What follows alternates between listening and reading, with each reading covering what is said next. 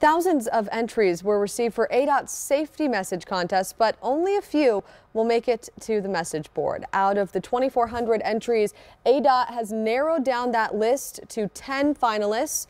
And now is the time to get your vote in for your favorite one. The two messages that receive the most votes will then be displayed on those overhead signs throughout Arizona highways. You have until April 21st to cast your vote.